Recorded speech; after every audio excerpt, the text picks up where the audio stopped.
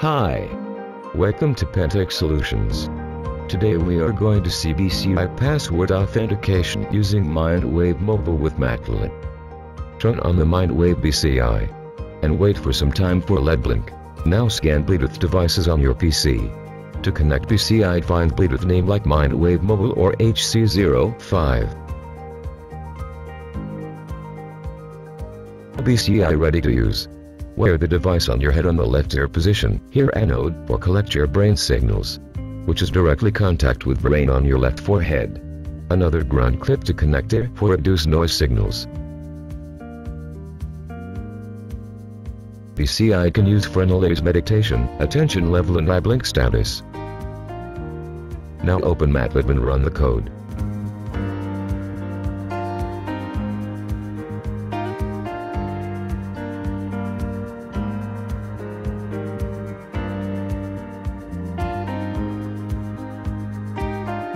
Here we are going to use BCI and speaker to hear automated voice for guidance to access virtual keyboard and verify authentication. Let's start.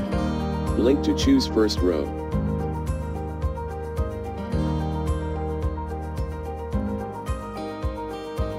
Link to choose 9.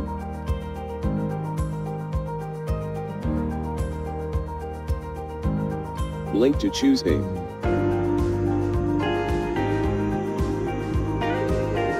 You chose number 8. Link to choose first row.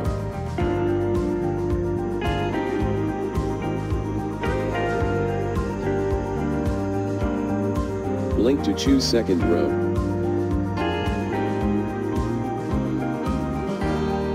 Link to choose 6.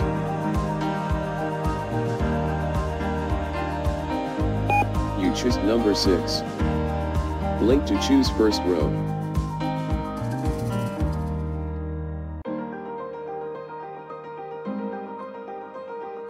Link to choose 9.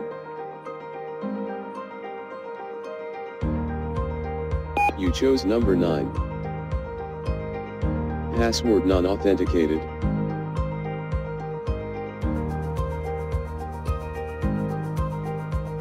Link to choose first row. Link to choose 9. To choose 8. Link to choose 7.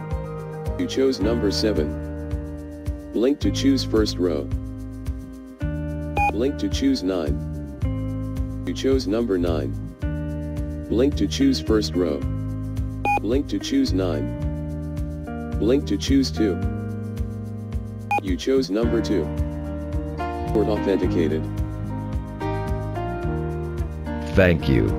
For more details, visit our site www.pantechsolutions.net.